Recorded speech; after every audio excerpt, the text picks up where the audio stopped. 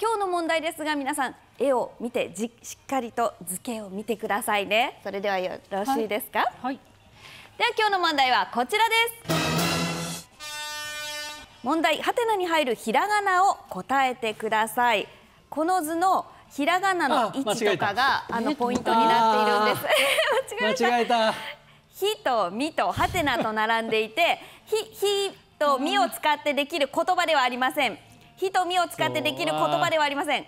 そう一文字一文字入るんですがはいこれかなこれはですね丸いものをある天体なんですが何か考えるとね分かってくるかなと思いますこの丸いものある天体ですはいこの天体が火からそのハテナの方に移動するんですよねそしてま、えー、っすぐなものは、えー、地球上のあるものを表すんですね。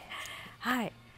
まあ、この天才バカボンの歌だったら逆なんですよ、ね、そうなんですよ。天才バカボンの歌だと逆になりますね。はい。火の方から登ってきて、ハテナの方に沈んでいくということです。はい。ですから、まあ大きなヒントは？いいですか？あの丸は太陽や月と考えてみてください。え、セブさんのそのリアクションは？いや、全然間違ったと思って、はい、もう一回考えたら合ってるかも。めっちゃ偶然合ってるかも。偶然合ってるかも。はい、これは、えー、地平線水平線がまっすぐなラインになっています。さあ、時間となりました。はてな答えを見てみましょう。はてなに入るのは？2西の2なんですね。あの太陽や月は東から上がって西に沈んでいきますね。ということで方角の頭文字を表していました。さあ今日のベスト3はこちらの方々です。最速。